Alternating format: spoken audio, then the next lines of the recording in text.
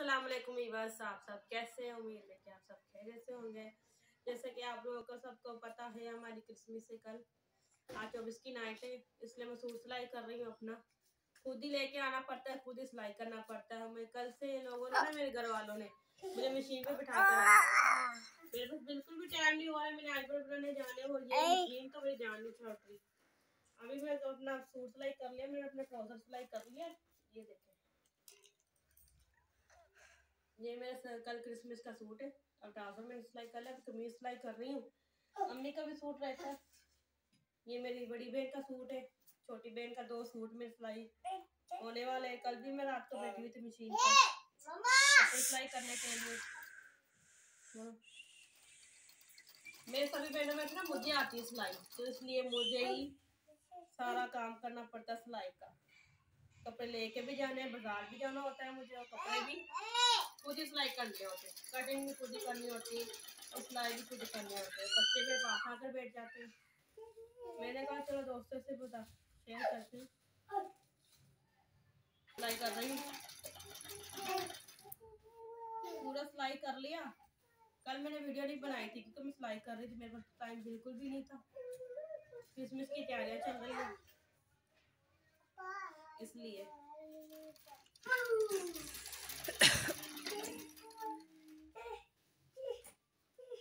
और ये देखे व्यूअर्स मैं अपना सूट सिलाई कर लिया बाकी दो सूट रह गए मेरी बहनों के।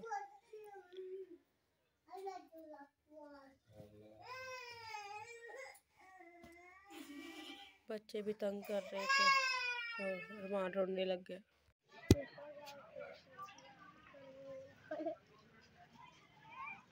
देखिए बस चटनी बनी है कितनी प्यारी लग रही है।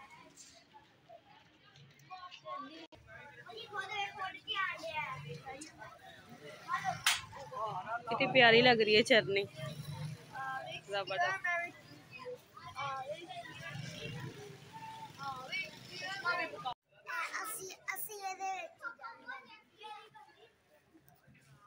ये देखें बस हमारा चर्च सबसे इलाके में बड़ा वाला चर्च है और सुबह क्रिसमस इसलिए चाँद रात है चौबीस की नाइट सजा हुआ सारा चर्च।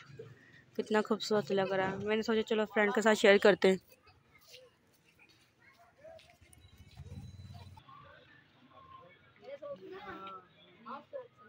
और ये देखें भी ये चन्नी अभी बन रही है बलून भी लगे हुए, गुब्बारे भी सारे लगे हुए।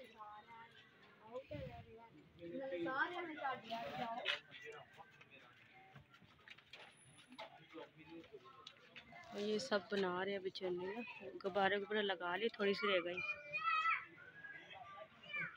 वो क्रिसमस ट्री लगा हुआ है।